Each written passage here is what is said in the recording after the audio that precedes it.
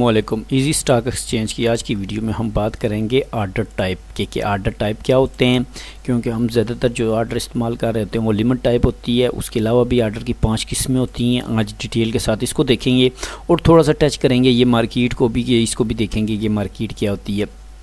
तो इसका आपको बहुत फ़ायदा होने वाला है, क्योंकि आप जो ऐसे लिमिट आर्डर इस्तेमाल करते हैं तो मैं आपको समझाऊँगा कि अगर आप बाकी आर्डर टाइप भी इस्तेमाल करते हैं तो उससे आपको क्या क्या फ़ायदा हो सकता है। तो चलें शुरू करते हैं। सबसे पहले ये देखें कि कोई भी चीज़ जो है आपने बाय करनी है सेल करनी है, अभी ये बाय का पैनल है, ये सेल करने का पैनल है, कोई भी आप खोल लें, कोई मसला नहीं है। फ़र्ज़ करें मैं बाय का खोल लेता हूँ कि आपने कौन सी चीज़ बाय करनी है, ख़रीदनी है, ठीक है? तो इस लिहाज से अभी हम पहले शुरू में बात करते हैं। सबसे पहले ये देखें कि यहाँ पे लिखा होता है मार्केट और मार्केट के नीचे लिखा होता है आर ई जी ये होता है रेगुलर ये ये होता है मार्केट और ये रेगुलर हाँ ये बात वीडियो शुरू करने से पहले एक और बात बता दूँ। कि अभी जो मैं आपको समझा रहा हूँ, ये कंप्यूटर का एप्लीकेशन है ट्रेडिंग एप्लीकेशन है जिससे आप ट्रेड कर सकते हैं। मोबाइल में भी सेम यही ऑप्शन आ रहे होते हैं, ठीक है? वहाँ पर भी यही लिखा होता है, कोई इतना बड़ा मसला नहीं है। तो देखें, ये क्या चीज़ है? रेगुलर रेगुलर मार्केट क्या होती है? सबसे पहले आप ये देख लें पाकिस्तान स्टॉक एक्सचेंज में जो काम हो रहा होता है आपको यहाँ पे जो भी ये रिज़ल्ट जितने भी नज़र आ रहे होते हैं, आप डेटा पोर्टल पे जाते हैं, ये सारे रेगुलर मार्केट से मुतलक होते हैं। रेगुलर मार्केट क्या होती है कि एक मार्केट चल रही है रेगुलर प्राइस पे उसकी कुछ अलाट्स होती हैं कि आपने 500 को शेयर ख़रीदना है, हज़ार ख़रीदना है या जितना भी ख़रीदना है तो रेगुलर मार्केट का क्या फ़ायदा होता है कि ये वो वाली मार्केट होती है जिसमें आप अपने पैसों से चीज़ ख़रीदते हैं।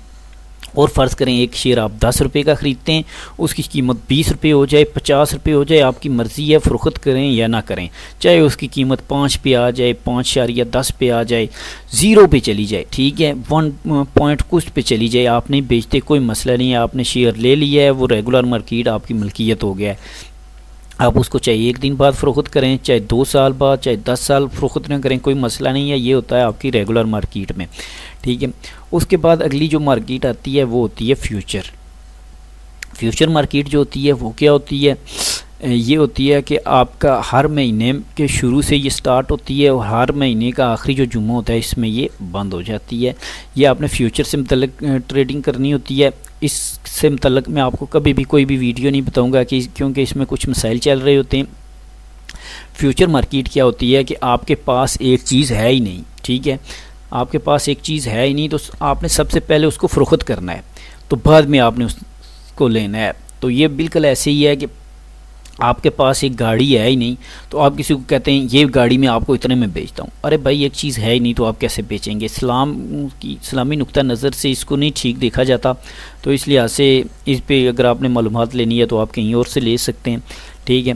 तो अगला जो ऑप्शन होता है, ये आईपीओ का होता है, ये आपको पता है, कोई भी शेयर मार्केट में आने से पहले उसका आईपीओ लॉन्च होता है, उसमें आपने ख़रीदना होता है तो ये चीज़ होती है, ठीक है तो ये आप ब्रोकर के ज़रिए भी ख़रीद सकते हैं तो इसका ऑप्शन यहाँ पे होता है लेकिन इससे आगे आपका जो ऑप्शन होता है, इसको कहते हैं L B D leverage buying ये क्या होता है कि आप उधार पे भी कोई चीज़ जो है वो ख़रीद सकते हैं। उधार पे कैसे क्या मतलब फ़र्ज़ करें, आपने जो है ना अपने ब्रोकर के पास एक अकाउंट खोला हुआ है जिसमें आपके पास एक लाख रुपया है। तो क्या होता है कि आपके जो ब्रोकर होते हैं वो आपको चार लाख रुपये तक उधार दे देते हैं कि आप ये चीज़ ले लें। ठीक है। इसका क्या फ़ायदा होता है कि अगर फ़र्ज़ करें आपके पास पाँच लाख रुपया है तो आपको बीस लाख तक, पच्चीस लाख तक अब आप, हर ब्रोकर का अलग सिस्टम होता है कि वो आपको कितनी लेवरेज देता है। बाज़ जो है वो डबल देते हैं बाज़ आपको पाँच गुना देते हैं बाज़ इससे भी ज़्यादा देते हैं, वो आप अपने ब्रोकर से कॉल करके पूछ सकते हैं, और ये सर्विस एक्टिव है नहीं है, या आप ब्रोकर से मतलब जो है ना, उससे कॉल करके पूछ सकते हैं। क्योंकि बाज़ की जो है वो एक्टिव होती है, बाज़ ये देखते हैं कि आया ये ये ना हो कि इसको हम जो है वो लेवरेज पे पैसा दें और ये सारा नुकसान ही कर दे। तो ये देखें, ये जो है ना, आप अपने ब्रोकर से इससे के मतलब पूछ सकते हैं, इसको कहते हैं एलबी तो इसका नुकसान सबसे ज़्यादा क्या होता है और इसका फ़ायदा क्या होता है? नुकसान इसका ये होता है कि जब भी आप ब्रोकर से कोई भी पैसा लेते हैं तो बाकी तो आप कहीं से भी कोई पैसा लें तो आपको जितना मुनाफा हो, जितना नुकसान हो तो वो बराबर का शरीक होता है। लेकिन लेवरेज पाइप में जब आपको कोई भी ब्रोकर पैसा देता है तो वो नुकसान में ज़िम्मेदार नहीं होता। फ़र्ज़ करें आपके पास दो लाख रुपया पड़ा है ब्रोकर ने दस लाख रुपया दे दिया, बारह लाख रुपया आपने किसी शेयर में लगा दिया। अब उसमें से अगर आपको दो लाख या तीन लाख रुपया फ़ायदा होता है तो क्या होगा कि आपको ब्रोकर को भी देना पड़ेगा, वो हर ब्रोकर की अलग कंडीशन होती है कि वो आपसे कितना लेता है, या वो आपसे कमीशन लेगा या मुनाफे में हिस्सा लेगा।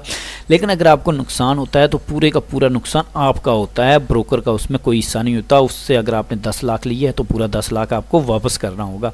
ये होता है एलबी नेक्स्ट ऑप्शन होता है O D L O D L क्या होती है? ऑड लॉट मार्किट होती है। फ़र्ज़ करें, ज़्यादातर आपने देखा होगा, जब हम लिमिट में ख़रीद रहे होते हैं तो ये हमारी जो होती है, आपने 500 शेयर ख़रीदने सौ से कम वाले जो शेयर होते हैं, वो हम 500 ख़रीद सकते हैं।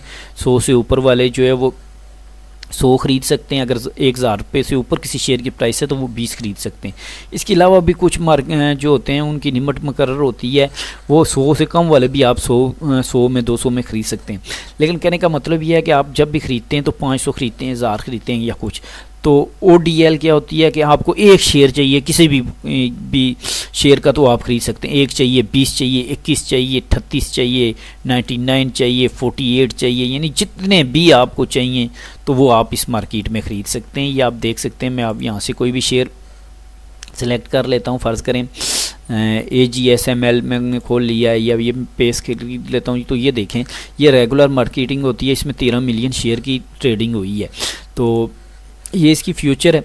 तो ये आ गया आपकी ओ डी में आप देखें ओ में भी सेम इसी तरह होता है। रेगुलर में पाँच शरिया चौहत्तर पे ओपन हुआ है। ओ डी एल में पाँच शरिया नब्बे पे ओपन हुआ है। तो ये इसका ओपन लो हुआ है, ठीक है। तो इसमें क्या हुआ है? ये इस पर क्लोज हुआ है। तो सिर्फ़ नो ट्रेडिंग हुई है इसमें टोटल ठीक है। तो इधर दूसरी तरफ़ आप देखें तेरह, जो है ना, एक करोड़ तीस लाख यानी तेरह मिलियन ट्रेडिंग हुई है। तो ओडीएल में होता है कि पास दफ़ा किसी को सिर्फ़ पाँच शेयर चाहिए, दस चाहिए, इस तरह छोटे मोटे जो शेयर चाहिए होते हैं, वो जो लोग होते हैं, वो ओडीएल में ख़रीदते हैं। ये तो हो गया आपका इससे मतलब। एस आई एफ़ का मुझे नहीं पता है। ठीक है, ये आप सर्च कर सकते हैं। अच्छा तो अब हम आते हैं आर्डर टाइप पे, जो हमारी आज की वीडियो का टॉपिक है, जिस पे हमने सबसे ज़्यादा बात करनी है, वो है हमारा आर्डर टाइप आर्डर टाइप में सबसे पहले जो आर्डर आता है, वो होता है, यहाँ से आपने रेगुलर मार्केट सेलेक्ट कर लेनी है, ठीक है? तो आर्डर टाइप में सबसे पहले जो होती है लिमिट लिमिट का आपको पता है कि आपने शेयर जो है, वो लिमिट्स में ख़रीदने हैं, यानी 500 ख़रीदने हैं, एक हज़ार ख़रीदना है, दस हज़ार ख़रीदना है, कितना ख़रीदना है, और कितनी प्राइस पे ख़रीदना है। फ़र्ज़ एक शेयर है, उसकी कीमत चल रही है पाँच रुपये ये पाँच रुपये का क्यों कह रहा हूँ? क्योंकि अभी मैंने कोई खोला हुआ है तो इसकी, इसी के अराउंड कीमत चल रही है। एक शेयर है, उसकी कीमत उसकी प्राइस चल रही है पाँच रुपये पे। आप चाहते हैं कि मैं इसको चार शरिया अस्सी पे बाय करूँ, ठीक है? तो क्या होगा? आपको ये शेयर चार शरिया अस्सी रुपये में तभी मिलेगा जब इसकी प्राइस चार शरिया अस्सी पे आएगी। अभी पाँच पे चल रही है। जैसे ही ये प्राइस चार शरिया अस्सी पे आएगी, आप सुबह ऑर्डर लगा के बैठ जाएँ। जब भी लगा के बैठ जाएँ, जब कीमत इस प्राइस पे आ जाएगी तो आपको एक हज़ार शेयर मिल जाएगा। ये होता है लिमिट आर्डर जो सबसे ज़्यादा हम लोग इस्तेमाल करते हैं। ठीक है। उसके बाद चलते हैं हमारे अगला आर्डर होता है स्टॉप लॉस का। स्टॉप लॉस का यहाँ पे थोड़ी सी चीज़ जो है समझ लें, यहाँ देखें, जब मैंने ये वाला ऑप्शन लिमिट किया था तो ये आपकी लिमिट प्राइस जो है ना, ये ख़त्म हो गई थी। तो अभी हमने स्टॉप लॉस किया, ये आ गई है, इसमें आपने दो प्राइसें लिखनी होती हैं। लिमिट प्राइस स्टॉप लॉस क्या होता है? स्टॉप लॉस ये होता है, फ़र्ज़ करें प्राइस चल रही है पाँच पे। आपने ख़रीदा हुआ है कितने रुपये पे? चार शरिया अस्सी पे। ठीक है? तो अब आप चाहते हैं कि जब प्राइस जो है चार शरिया अस्सी से कम हो जाए, फ़र्ज़ करें चार शरिया अस्सी पे आपने ख़रीदा हुआ है तो आप कहते हैं, अगर चार शरिया पचास पे चली जाए तो मैं इसको बेच दूँ। अब आप कहेंगे कि चार शरिया पचास पे चली जाए तो क्यों बेच दूँ? क्योंकि हमें तो ज़्यादा पे बेचना है। वो ये होता है कि बज़ दफ़ा आपने देखा होगा, आप कोई चीज़ लेते हैं, वो बहुत नीचे चली जाती है, आपको बहुत ज़्यादा नुकसान हो जाता है। तो स्टॉप लॉस आर्डर क्या होता है? ये आपके लॉस को स्टॉप कर देता है। कि जब कीमत यहाँ से नीचे जाए तो मैं इसको बेच दूँ। तो उसका क्या होता है, अभी ये हमने बाय का खोला हुआ है तो अगर आपने स्टॉप लॉस लगाना है, ठीक है, कोई चीज़ फ़रोख्त करनी है तो आपने यहाँ से सेल सेलेक्ट कर लेना है, ठीक है। सेल सेलेक्ट करने के बाद यहाँ से आपने स्टॉप लॉस लगाना है। तो अब देखें, जैसे कीमत क्या थी, पाँच रुपये थी। आपने चार शरिया अस्सी पे ख़रीदा हुआ है, लेकिन आप देखते हैं कि अगर ये चार शरिया पचास पे आए तो मेरा आर्डर जो है वो एग्जीक्यूट हो जाए। ठीक है?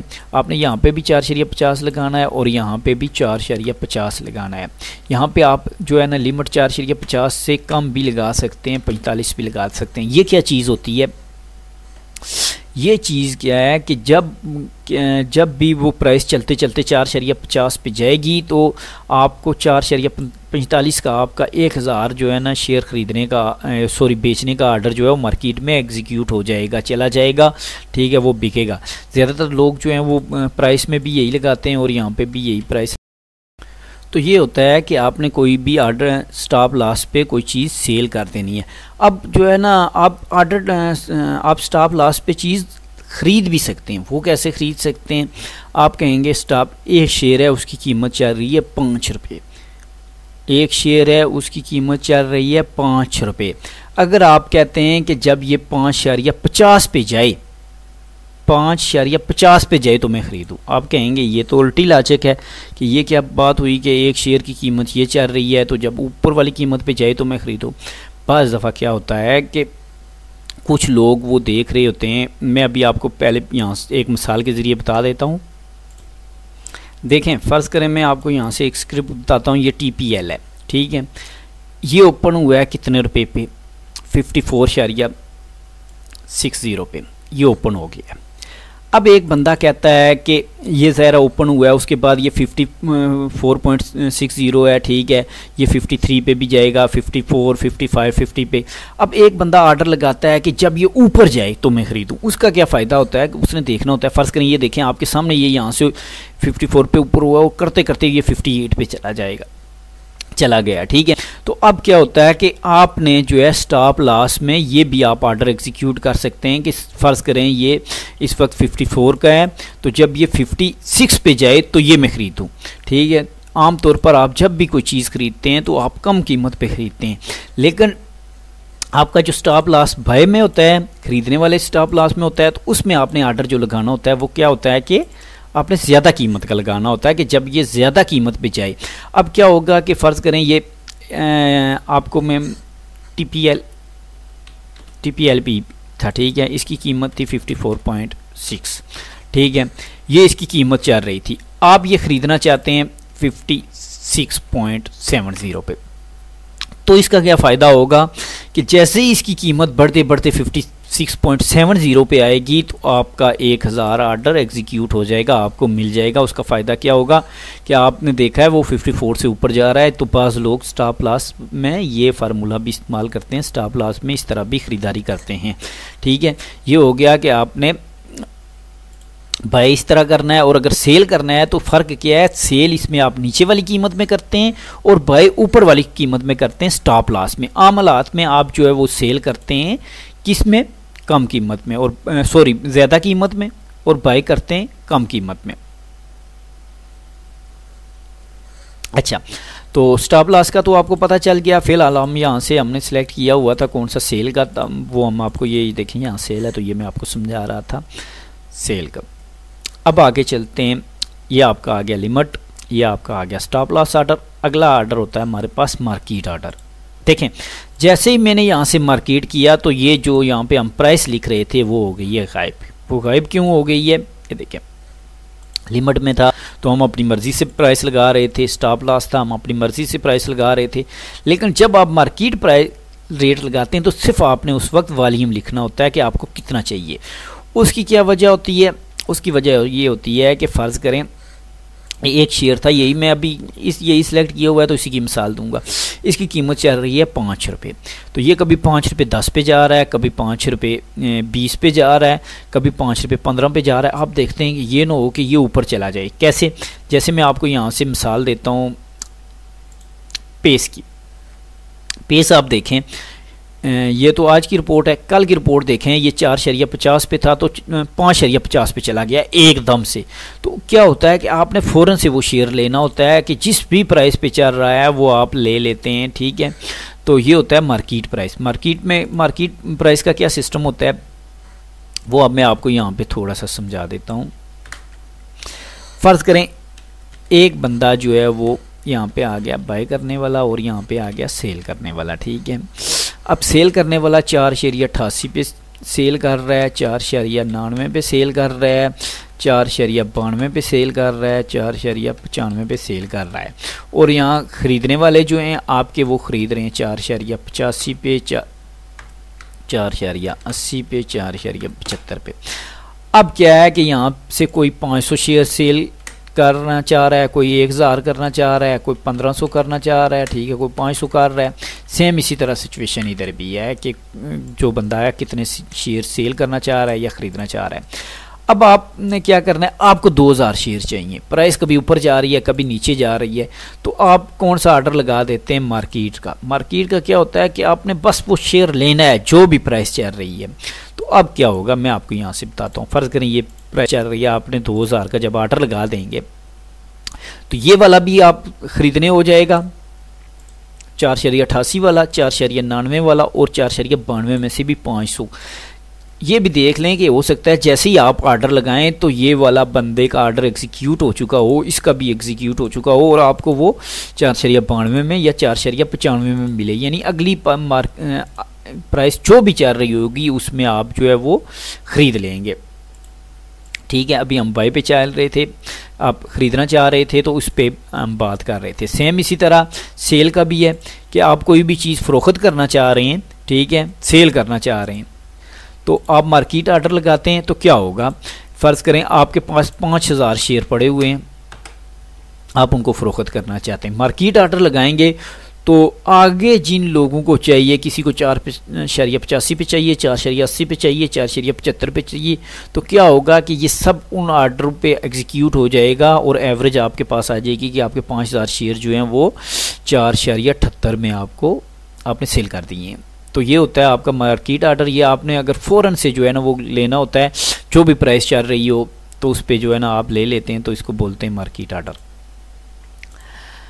अब हमारे पास आगे आता है फिल और किल फिल और किल से पहले मैं हम जो है ना एमआईटी की बात कर लेते हैं, क्योंकि ये बहुत ज़बरदस्त होने वाला है।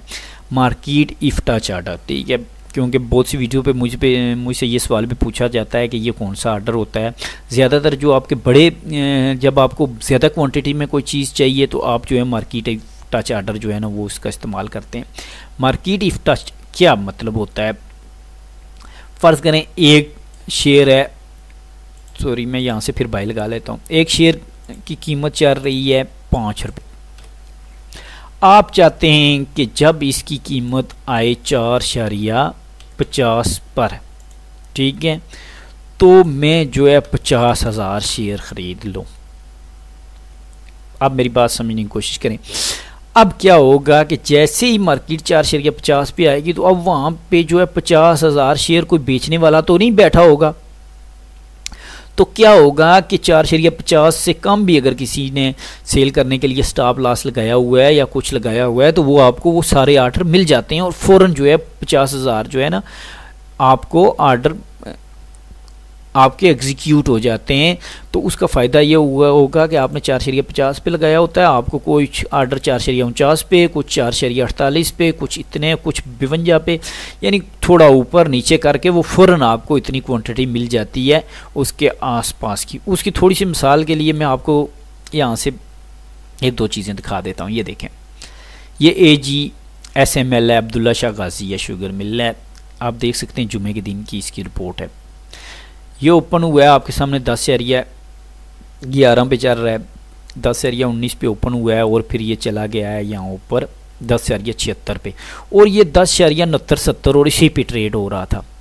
ये देखें, ये पूरे दिन में ये जो है ना ना दस एरिया साठ से नीचे आया ही नहीं है, यहाँ से ना फिर यहाँ तक लेकिन क्या होता है कि यहाँ पे आप देखें सडनली क्या हुआ? दस शरिया सत्तर कीमत चल रही है और एकदम से ये आ गया यहाँ नीचे। दस हज़ार या ग्यारह पे और पैंतीस हज़ार शेयर ख़रीद लिए हैं किसी बंदे ने। ये कैसे हुए? ये हुआ है ऐसे मार्केट इफ़ टच आर्डर से। ये किसी बंदे ने शेयर लगाया हुआ था कि जब मार्केट इस पे नीचे जाए, ठीक है तो क्या हो कि उसका आर्डर एग्जीक्यूट हो जाए। तो ये होता है, और ये इसका, बस दफ़ा ये भी होता है कि हो सकता है कि अगले बंदे ने कौन सा आर्डर लगाया हो किसी बंदे ने कट्ठे पाँच सौ शेयर पचास हज़ार शेयर सेल करने पे लगा दिए हूँ, एकदम मार्केट रेट पे। तो आगे कोई बंदा ही ना हुआ वो एक हज़ार वाला। ठीक है, ये भी ये भी देख लिया करें। फ़र्ज़ करें यहाँ पे क्या हो सकता है कि यहाँ पे ये कंडीशन ये भी हो सकती है। कि दस शरिया सत्तर चल रहा है, कीमत चल रही है दस शरिया सत्तर इकहत्तर तो एक बंदा जो है वो फ़रोख्त करना चाह रहा है अपने पचास हज़ार शेयर। तो उसने मार्केट आर्डर लगा दिया कि मार्केट आर्डर जो भी है वो मिल जाए। तो अब क्या है, अब आगे ख़रीदने वाला जो है, यहाँ पे थोड़ा सा देख लें। दस शरिया सत्तर कीमत चल रही है, कोई दस शरिया सत्तर पे पाँच सौ लेना चाह रहा है, कोई दस शरिया साठ पे एक हज़ार लेना चाह रहा है, कोई दस शरिया जो है ना, पचपन पे जो है ना, ये देखें। यहाँ पे पंद्रह हज़ार कर लेते हैं, ठीक है। तो अब क्या है कि एक बंदे ने फ़ौरन से जो है वो पचास हज़ार आर्डर सेल करने का आर्डर लगा दिया है मार्केट रेट पे। मार्केट रेट का क्या नुकसान हुआ है उसको कि आगे ख़रीदने वाले कोई पाँच सौ शेयर कोई क्या तो वो फ़ौरन से कीमत नीचे गिर गई है। एक तो पॉसिबल पॉइंट ये है। तो दूसरा क्या है कि हो सकता है किसी ने मार्केट टच का आर्डर लगाया हो तो क्या है कि फ़ौरन से जो है वो कीमत नीचे आई और उसको पैंतीस हज़ार शेयर मिले। और देखें, एक सेकेंड की बात है, यहाँ पे जब हम ऊपर क्लिक करते हैं तो आप देखें, ये पाँच, दो बजकर अड़तालीस मिनट हैं और कीमत चाह रही है दस शरिया इकहत्तर और ये आप देखें कि यहाँ पे दो बजकर इक्यावन मिनट हुए हैं और कीमत चल रही है दस शरिया ग्यारह पे पैंतीस हज़ार शेयर की ट्रेडिंग हुई है और साथ ही जो है ना, दो बजकर बेवंजा मिनट पे वापस कीमत दस शरिया साठ पे चली गई है। ये ना सिर्फ़ यहाँ पे होता है, बाज़ दफ़ा बेशुमार आपने देखा होगा जिस तरह ये ई सी ओ पी चल रहा था। यहाँ पे भी आप देखें, चौंतीस पे कीमत चल रही थी, चौंतीस शरिया पचहत्तर, चौंतीस शरिया कुछ पे चल रही है और यहाँ से एकदम से ये कीमत आपकी चली गई नीचे, तैंतीस शरिया दो पे। आर्डर एग्जीक्यूट हुआ और ये वापस चला गया। ये होती हैं कुछ चीज़ें जो है ना मार्केट इफ्ता चार्टर। एक रह गई है एफ़ ओ के ये होती है fill or kill fill or kill क्या होती है? फिल आर किल ये होती है कि प्राइस चल रही है पाँच रुपये तो आपने आर्डर लगा दिया है चार शरिया अस्सी पे। आपने बाई करना है और आपने ख़रीदने कितने हैं? दस हज़ार आर्डर इसका क्या होता है? ज़्यादातर आपने देखा है कि अगर आपने फ़र्ज़ करें दस हज़ार आर्डर ख़रीदने के लिए बीड्स लगाई है तो बाद वो आपको एक हज़ार मिलता है, फिर थोड़ी देर बाद दो हज़ार मिलता है, फिर सात हज़ार मिल जाता है। तो इसका क्या होता है कि फिल और किल अगर मिलता है तो ठीक, नहीं तो जाए जय जन्म में इसका क्या है कि जैसे ही चार शरिया अस्सी पे कीमत आएगी, अगर किसी बंदे ने दस हज़ार या दस हज़ार से ज़्यादा का सेल करने का आर्डर लगाया और इस बंदे को दस हज़ार मिल गया तो ठीक, नहीं तो नीचे चला जाए। ठीक है? इसका ये फ़ायदा होता है कि अगर उसी प्राइस पे आपको मिल गया, कीमत पाँच रुपये से करते करते चार शरिया साठ या पचास पे आ गई है और चार शरिया अस्सी पे इसने जितना आर्डर लगाया था, अगर मिलता है तो ठीक फिल और किल वरना कैंसिल हो जाए। यह आपका आर्डर होता है। फ़िलहाल आलकिल का। अच्छा तो ये मैंने आपको ऑर्डर की जो पाँच किस्में बताई हैं, ये आपके सेम बाय में भी इस्तेमाल हो रही होती हैं और सेल में भी इस्तेमाल हो रही है। आप ये देखें बाय है और ये आपके पास ये सेल का ऑप्शन होता है, इसमें भी सेम ये इस्तेमाल हो रही होती हैं सेम यही चीज़ है। सिर्फ़ जो है ना स्टॉप लॉस जो है, वो थोड़ा सा उलट है, वो मैंने आपको बता दिया है कि वैसे आप जो है कोई भी चीज़ ख़रीदना चाहते हैं तो आप कोशिश करते हैं कि कम से कम कीमत में ख़रीदें। ठीक है, आप बाय करें तो कम से कम कीमत में बाय करें। लेकिन स्टॉप लॉस जो होता है, वो आप जो है बाय करते वक्त ज़्यादा कीमत पे लगाते हैं। तो इसी तरह आप कोई भी चीज़ सेल करते हैं तो आपकी कोशिश होती है कि वो ज़्यादा से ज़्यादा कीमत पे सेल हो। लेकिन स्टॉप लॉस इसका उलट होता है, ये आपने लगाना होता है कि कम कीमत पर कि आप अगर कीमत पीछे चली जाती है तो वो आपकी चीज़ सेल हो जाए, आपको नुकसान हो, ये स्टॉप लॉस आपने इस तरह लगाना होता है। तो अभी आज के हवाले से मैंने आपको इतना ही बताना था। कोशिश की है कि थोड़ी सी डिटेल के साथ वीडियो बना दूँ। कुछ चीज़ कुछ चीज़ें ऐसी हैं, आप लोग खुद तजर्बा किया करें, सीखा करें, यार तजर्बा किया करें। कोई पाँच सौ शेयर का आर्डर लगा के देख लें, मार्केट आर्डर क्या होता है। एक दफ़ा चेक कर लिया करें एफ़ ओ क्या है, ठीक है, हर चीज़ एम आई टी क्या है, ये चीज़ें चेक किया करें। चेक करने से ये आती हैं तजर्बा इंसान को, जो है खुद ही करने से होता है, क्योंकि कहते हैं कि जन्नत भी आपको तभी मिलती है जब आप मरते हैं। तो जब तक इंसान खुद नहीं मरेगा, जन्नत नहीं मिलेगी तो इसलिए जब तक आप खुद तजर्बे नहीं करेंगे, आप नहीं सीखेंगे, ठीक है। अब मैंने कोशिश की है कि ये जो आपकी चीज़ें आ रही होती हैं, इसके बारे में थोड़ी डिटेल के साथ समझा दूँ। तो आपके मोबाइल एप्लीकेशन में भी जो ये सेम चीज़ें जो है, वो इसी तरह आ रही होती हैं, उसमें कोई रॉकेट साइंस नहीं होती है, आपने उस पर भी जो है ना, आप कर सकते हैं, ठीक है। तो ये आप देख सकते हैं मार्केट की सूरत हाल वगैरह आप देख सकते हैं तो अभी मैं कोशिश करूँगा कि अगली वीडियो बनाऊँ कि अभी मार्केट आगे किस तरफ़ जाएगी, क्योंकि बाकी तो मैंने ये वीडियो बनाई थी कि नवंबर का महीना कैसे रहेगा तो ये वाली वीडियो आप देख सकते हैं, नवंबर का महीना कैसा रहेगा तो उसमें जैसा कि मैंने बताया था, फ़िलहाल वही सिचुएशन चल रही है। तो इन मिलते हैं अगली वीडियो में, अपना ख्याल रखिएगा, अल्लाह हाफिज़।